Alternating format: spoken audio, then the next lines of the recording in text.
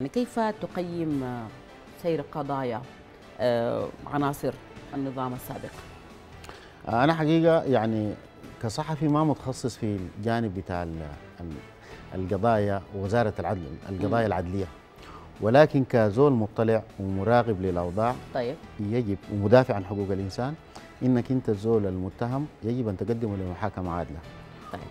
اثنين الناس المختصين والقانونيين قاعدين يقولوا بما فيه الناس الحرية والتغيير والتغيير الجذري وغيرها من المكونات إنه بيقولوا في لابد من معالجة القضايا بتاعت الأجهزة العدلية وغيرها. مم.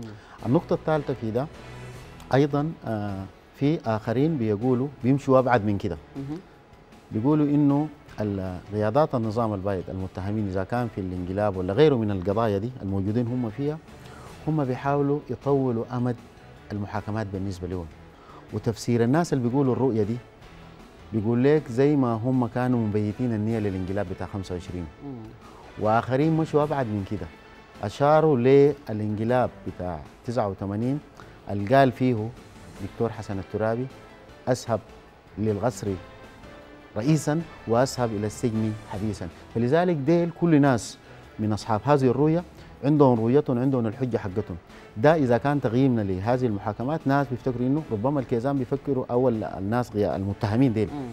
بيفكروا في إنه آه شيء في شيء يدبرينه لون عشان يمكن زي الانقلاب الفات أو ال- ال- المبررات اللي سكتها عليك لكن نرجع ونقول في إنه القضية بتاعه حقوق الإنسان يجب أن آه تقديم الناس بمحاكمات عادلة والإسراع فيها. طيب الآن ظهور حميتي كشاهد اتهام آه، ضد البشير آه، في قضية فتوى قتل المتظاهرين ما هي تأثيرات آه، يعني آه، تأثيرات هذا الظهور على سير القضية في رأيك؟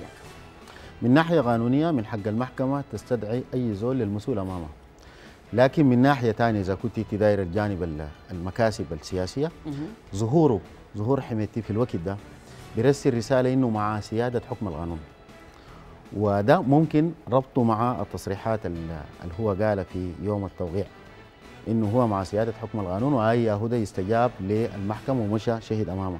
لكن إذا لما قريت الخبر إنه آه كان في وقت من الأوقات طلب مهلة آه حسب كلام الخبر. طيب ظهور حميتي الآن ومعه الضباط المذكورين في الخبر. هل يمكن أن يقود إلى أن يعني يقود إلى وجود متهمين جدد في القضية؟ والله ده متوقف على ما يقوله أمام المحكمة. أنا لا أعرف هو حيقول شنو في المحكمة لكن ده بيتوقف على الحيثية كلامه اللي هو بيقوله والمحكمة تبني على حيثيات اللي بيقول امامها